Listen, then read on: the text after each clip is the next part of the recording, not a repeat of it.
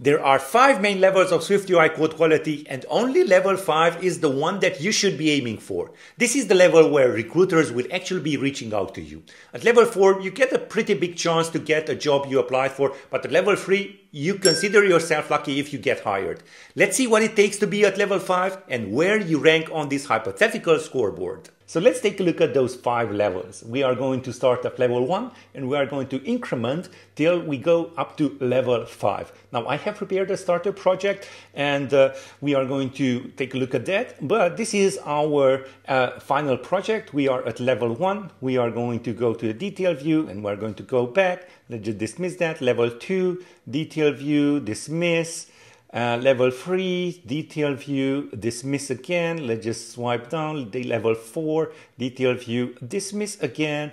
And finally, level 5, detail view and dismiss. And no joke, this is what we are going to build out. As you can see, it is the same uh, action, it is the same functionality uh, inside our code, but you are going to be amazed how the code differs from level 1 till level 5. So go ahead and check out. If you want to skip the levels, then you can just uh, take a look at the chapters uh, down here below or in the description, of course. And um, yeah, let's just jump right into it. Let's just take a look at our first uh, project, uh, so the starter project. And it is right over here. I have level five levels of Swift UI, and we are going to go through all of the levels. Now, this video is sponsored by me. As you can see, I have a brand new Christmas feeling right over here. And that's because we are having a Christmas sale. So go ahead and check out store.rebeloper.com. And uh, if you just uh, type in the coupon code Christmas22 or just go ahead and check out the link in the description, you will get 30% off on all my products. Now you can purchase the products uh, one by one or you can have all of my products at uh, one uh, discounted sale. Just go ahead, uh, navigation router error. Yes, go ahead, check it out. It's a store.rebeloper.com. Uh, it's our Christmas sale and it will end at the end of this year. Now let's get back to our project. And uh, this is our content view. We just uh, have uh, is presented uh, one, two, three, four, five for our sheets, and we have five of these root views, and then we are just having these buttons that will present them. So if we just build and run, uh, you will just have uh, whatever, what, basically what you saw already, but we just have hello world instead of our, you know, what we are going to do inside the navigation. So uh, let's see. Uh, what you want to do is uh, go to level five. So just be an expert in this navigation. Um, yeah, why navigation? Well, in Swift UI, the kind of the hardest part is to understand and to use navigation properly. How to handle data inside the navigation stack. How to uh, present views uh, in a, a, good manner. Uh, so that's why uh, if you do know how to navigate in Swift UI, you will most probably have the highest chance to get hired. So let's start off with uh, level one. Here we go. It's just, you know, a simple root view one, and we're going to navigate to detail view one. So uh, what would you do? So yeah, again, we are starting off from the uh, junior level and from kind of level four, you are going to get hired. Okay, so uh, what we are going to do here is just add a navigation view uh, with a content, and the content would be our navigation link.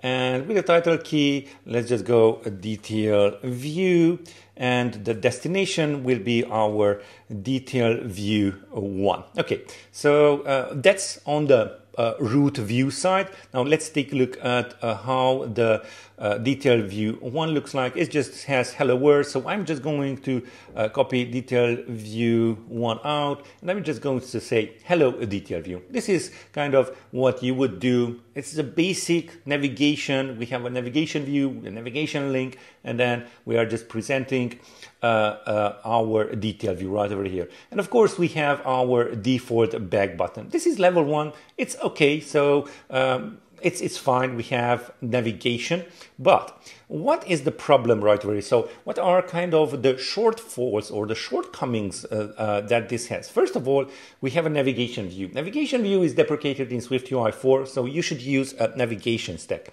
Also, navigation link with the detail uh, uh, uh, destination of detail view one. Now, this is really like just tapping on the button, and you know, it's not really programmatic. It's like uh, it needs a user to initiate this navigation, uh, which is okay. But um, yeah, this is just level one. So, what I suggest is that we move on to level two. There we go. We, we are having progress. This is level two. So instead of navigation uh, view, we are going to use the newly created navigation stack. This is available iOS 16 plus uh, inside uh, SwiftUI 4. So we have navigation stack. And again, we are going to have a navigation link right over here with a title and destination. Uh, let's just go detail uh, view for our title and the destination will be our detail come on detail view 2 so now you know i'm just uh, uh, checking for level 2 here so that's why i have detail to view here.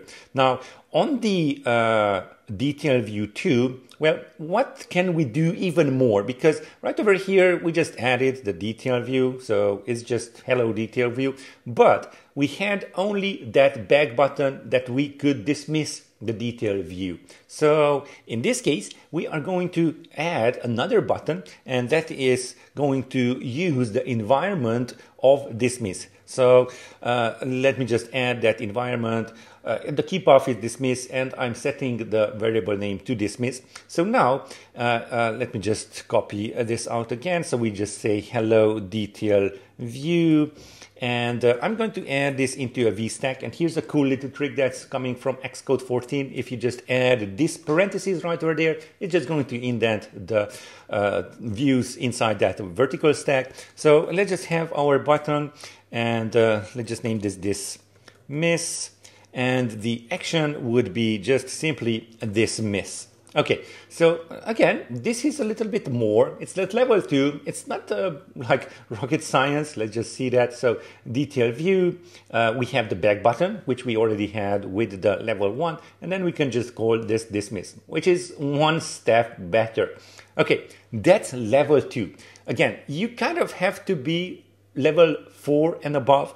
So let's see what we still have on uh, level uh, three. Let's just go into the root view. Now, uh, for this, actually, we uh, need you know, when we are having this root view too, we uh, are initializing this navigation stack on the root view itself. But this is kind of a bad practice because uh, what if we wanted to reuse our root view? Therefore, I advise you to create your navigation stacks on a container view. So right over here under level 3, we are going to create a new file. I would just name this, uh, let it be a Swift UI view. Let's just name this a root container view 3. There we go, root container view 3. And right over here, I'm going to create our navigation stack. So I'm just moving that navigation stack into the root container view and I'm having this uh, root view free right over here. Now, this kind of seems like uh, overloading. So, you know, we have too much code. Why didn't we add that? But this makes sure that root view doesn't have our navigation stack. So now instead of uh, root view free, I want to copy this out and inside the content view, let's just go right over here. I want to replace that. Oh, I mistakenly uh, selected uh, something else. So root container view. Let me just copy this out and paste this inside the sheet destination. Okay, so uh, what's up next? How can we make this even better? Well, uh, we can actually, uh, yeah, we can just uh, create our detail view. So yeah, basically that's it for level three. Let me just go for root view three. So what do we add to our root view three? Well, because we are not having our, you know, navigation stack right over here, we need to create a vertical stack. And then we are simply just going to grab our navigation link from there Let's just paste it in there. We're going to go to the detail view free. And on the detail view free, we are just going to grab our environment and just copy that out, paste it in there. And then again, we are going to have this uh, button with the dismiss. Again, as you can see, I am building upon uh, the previous version of our uh, our level. Okay, so that is how we can have a separate, you know, navigation view stack for, you know, uh, our uh, root view free. Uh, it could be another view as the root, so that's why I chose to have a root container view. Let's go on to uh, navigation like level four. Here, again, I'm going to create a root container view but now I'm going to have a path for it because uh, this root view free is just a navigation link. Uh, you know, it's just going to have a destination and then you can just pop back. I know it's not obvious right over here, but you actually shouldn't or actually you can't uh, go and have these navigation links one after the other. You want to have a path. So for that, we are going to create a navigation path. Let's just go uh, under level four. We want to add a new file and that will be root container view four. There we go. And uh, we are going to create actually a state variable for our path right over here. So uh, private state, uh, path, and that will be a navigation path. Okay, so uh, now uh, we are going to use the other navigation stack initializer that has our path and the root. So right over here, we're just going to go dollar and path. And on the root view, well, because we do want to use this path on the root view 4, so let's just add here root view 4 so we don't have any issues. On the root view 4, we want to move our path because we want to access it. So what we are going to do, uh, well, actually before that, I'm going to add in our navigation destinations uh, for our uh, detail view. So let's just have navigation destination for, and we're going to use int values self uh, for our trigger for our destinations. We are going to have here int value and then we are going to just go switch int value.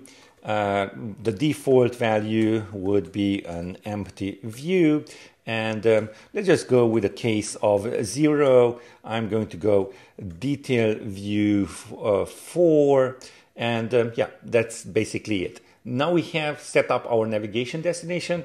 We have to do uh, have access to our path on our root view 4 so uh, let's just uh, do that. We are going to have a binding right over here. So at binding there we go. Uh, var path of type navigation path and now if we just go back right over here we want to add our path right over here dollar sign path. And why we are at it? Uh, because we are also going to use our path inside our detailed for view. Uh, uh, let's see. Well, actually, let me just see. Yes, we are going to dismiss uh, right over there. So let's just add that in there.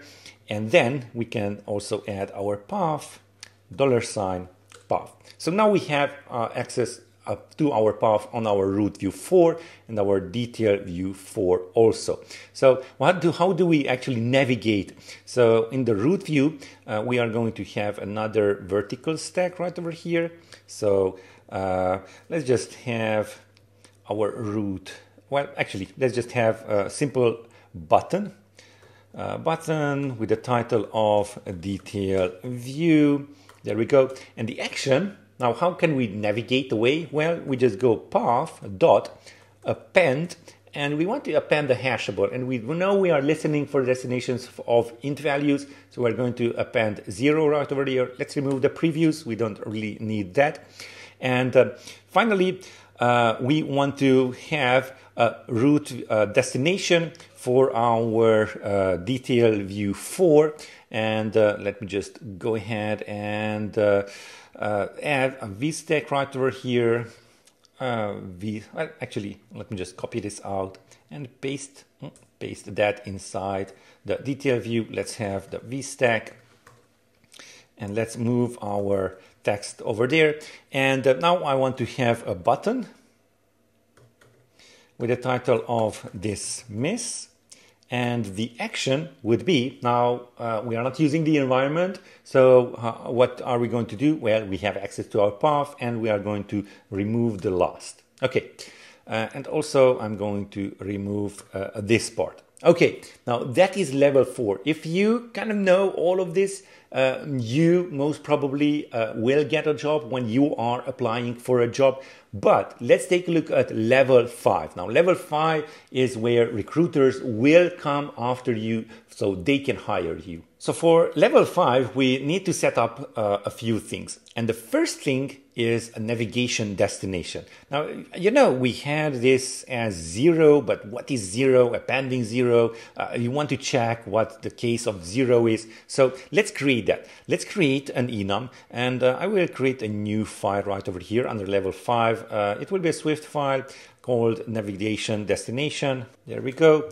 And uh, this will have a simple enum uh, called navigation destination and this has to be hashable. So that's one thing that we have to add in here. And we are going to have a case of detail view, of course, that is where we want to navigate. And in my case, I'm also going to add uh, dependency injection. So we uh, are adding here a name of string. So we are going to kind of move uh, value of name uh, with our navigation. That's our navigation destination. Also, we don't really like this part. So on our uh, detail, uh, sorry, on our container view right over here, we've got this navigation destination for in. This is kind of like not good looking. So I'm going to create an extension for this. And uh, let's create again a new file, a Swift file, and that will be a view plus navigation. There we go. Let's create that. And this will be an extension on the view, so we need to import Swift UI. Let's have extension on the view itself. Let's create a function called uh, with navigation destinations, something like that. So with navigation destinations, okay. And uh, this will be of some view, okay. And on self, we are actually, uh, let me just, uh, well, let's just type out, it's, it's easier. So navigation destination 4, and right over here we are going to have navigation destination, the enum that we have created, dot self. And this is great because it's hashable if you remember that. Now we need to have destination right over here and uh, destination, there we go. And we just go switch destination uh, and we are going to have one case. In our case, it's a detail view with a name. So let's have that as a constant let. And then we just go detail view 5. And currently it's just detail view 5. We are not using the name. So uh, let's just go into detail view and have a constant. So let name of type string. Okay. And we are going to just use it right over here. So hello name. Great. So if we go back to our destination, we just go name and we just pass our string along uh, as a parameter. Really great. Okay, so uh, now it's time to create our container because, yeah, you know, we want to use the best practices that we learned so far. So let's create a new file, and uh, that will be a Swift UI view, and that is root container view 5. Uh, let's make that uh, capital C.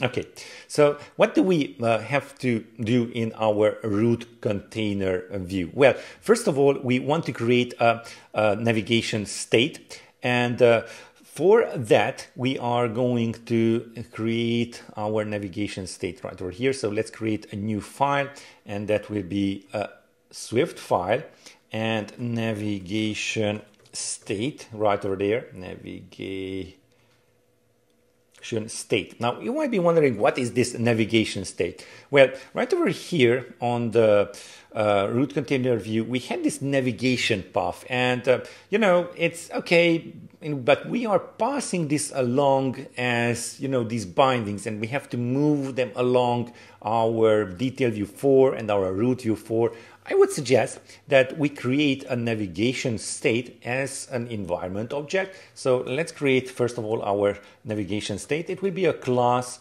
Uh, let's name that navigation state.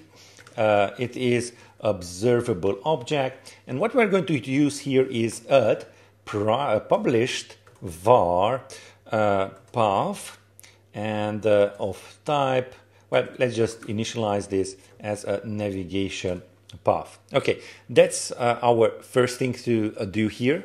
So now what we want to do is some functionality to either navigate to a certain navigation destination or to dismiss any of those uh, views. So I'm going to create a function right over here uh, called navigate.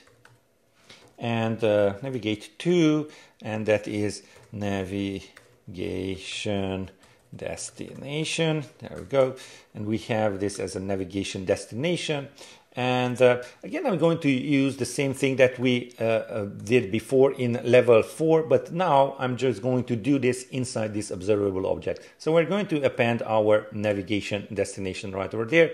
And uh, finally, let's create our function of dismiss there we go. And then just path dot uh, remove last. Okay, so now that we have our navigation state set up, it's time to use it. So uh, inside our root container view, we are actually going to initialize it. So uh, we are going to create it as a private state object. So private state object, uh, let's call this navigation state and navigation state. There we go.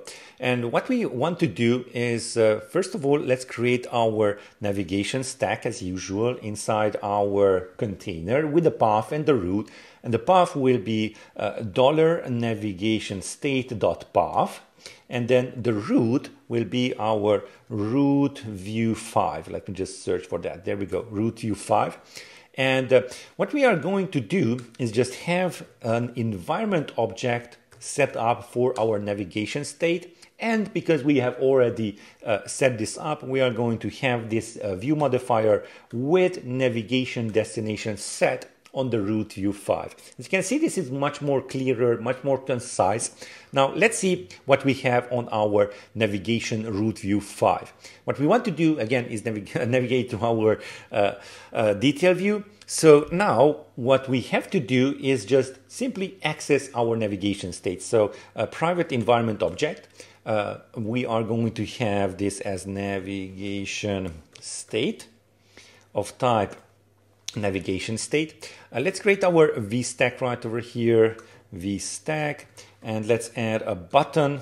Uh, and we are going to have this as detail view, uh, the action. Now we are going to use our navigation state dot navigate to, and then dot detail view with the name of detailed view or whatever uh, string that you might want to attach uh, there. Now finally let's just go into the detail view 5. Right over here we have our name but we want to dismiss. Uh, first of all let's just remove our preview and let's import our private environment object of navigation state. Come on, state of type navigation state. And now we can just have our VStack right over here. And uh, we can also add our button of dismiss. So button, title, and dismiss. Come on, with a capital D. And for the action, we're just going to access our navigation states dot dismiss function and that couldn't be easier. Let's just build and run right now. As you can see, we just moved uh, uh, one level up. Let's see what we have here. Okay, yes. So uh, I just forgot that we have to have the root view con root containers set up on these sheets. So I'm just going to add those free in there. So root container view free and four. So as you can see, it will do the same thing. Uh, let's just swipe that down. Level two, we have the detail view button. We can just dismiss. Also, we can use the back button. Okay, level three, which is kind of okay. If you're lucky, you uh, are going to get a job uh, if you apply for one. Let's just go back. Now, level four, this is definitely uh, you can get a job with this level of knowledge of navigation in Swift UI and in Swift UI in general. And now level five. Now recruiters will come for you if you are going to set up navigation in this uh, fashion. Now, of course, there's always a level six, and I would highly recommend that you take a look at my uh, navigation router right over here. It's on sale currently. Christmas 22 is the coupon code that we want to use, or just click the link in the description where you can actually do quite a lot more. And uh, here we go. We have simple and unified API, async await, and the most important part here is that you can easily set up any kind of navigation, not just pushing like we uh, saw in this case for navigation stack. You can also present sheets, uh, full screen covers, and uh, we can also pop. So top to a model, we can also deep link and deep pop. We have dependency injection. It's really, really fun. Go ahead and check it out. I also have uh, other uh, uh, stuff on sale right over here. Again, it's Christmas 22 uh, coupon code or click the link in the description. And if you want to take a look at how navigation router works, go ahead and check out the video. It's right over here.